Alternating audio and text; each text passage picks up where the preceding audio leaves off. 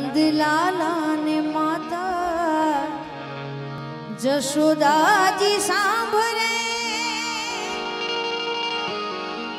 ममता नी मूर्ति मारी रही गई गोकुड़मा नंदलाला ने माता, जशोदा जी